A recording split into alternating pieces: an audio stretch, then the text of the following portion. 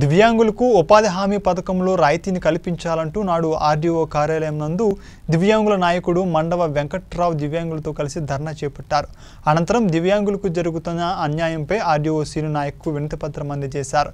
ఈ సందర్భంగా మండవ వెంకట్రావు మాట్లాడుతూ ఉపాధి హామీ పథకంలో దివ్యాంగులకు అన్యాయం జరుగుతుందని దివ్యాంగులకు పనులు లేక చాలా ఇబ్బందులు పడుతున్నారని వెంటనే ఆర్డీఓ చొరవ తీసుకుని దివ్యాంగులకు రాయితీ కల్పించాలని కోరుతున్నామని తెలిపారు. ఉపాధి హామీ పథకంలో పథకంలో వికలాంగులకు పని కల్పించాలి. ఉపాధి హామీ పథకంలో కాన్ఫరెన్స్ పెట్టండి మాట్లాడతాను.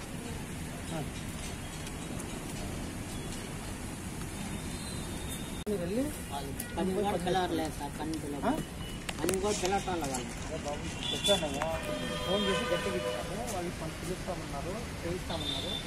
మీరు వెళ్ళి కూడా వచ్చేస్తారు అందరూ ఎంపీడీఓ దగదర్తిని ఏపీడీ ఎన్ఆర్ఈజిఎస్ని చౌట పుత్తడు సంబంధించిన ఫీల్డర్స్ అన్ని లైన్లో పెట్టుకొని మాట్లాడాను.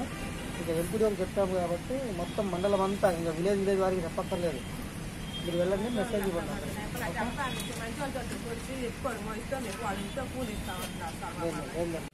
కావలి ఆర్డీఓ ఆఫీస్ ఎదుట వికలాంగుల ధర్నా జరుగుతుంది. దీని యొక్క ముఖ్య ఉద్దేశం ఏంటంటే ఉపాధి హామీ పథకం వికలాంగులకు ఉపాధి హామీ పథకంలో ఇంతకు ముందటువంటి రాయితీలు ఇప్పుడు కల్పించటంలా. ఉపా పనితే వికలాంగులను తీసుకోకపోవటం చాలా శోచనీయము ఎందుకంటే ఇంతకు ముందు ప్రధానంగా వికలాంగుల్ని మేటుగా తీసుకునే వాళ్ళు ఎనభై పర్సెంట్ పని పూర్తి చేస్తే వంద శాతంగా పరిగణించేవాళ్ళు.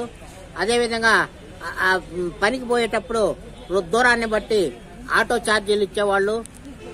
ఇంకా ఆ, వికలాంగుల్ని మేటుగా కూడా తీసుకునే వాళ్ళు రెండు ఇద్దరు వికలాంగుల కాడ నుంచి ఐదు మంది కానీ పది మంది కానీ ఒక వికలాంగ సంఘాన్నిగా ఏర్పాటు చేసుకో చేసేవాళ్ళు. కానీ ఇలాంటివన్నీ ఈరోజు రద్దు చేయబడినాయి. ఈ ఈ విధంగా వికలాంగుల యొక్క రాయితీలని రద్దు చేయటం అనేది శోచనీయము. వికలాంగుల సంఘాలని ఉపాధి సంఘాలని ఎప్పటి మాదిరి ఏర్పాటు చేసి మాకు రాయితీలన్నీ పునరుద్ధరించాలని ప్రభుత్వాన్ని మేము డిమాండ్ చేస్తున్నాం. గతంలో ఎన్ని దినాలు మీకు ప్రభుత్వం పని దినాలు కల్పించింది? నూట నూట యాభై దినాల వరకు కల్పించింది.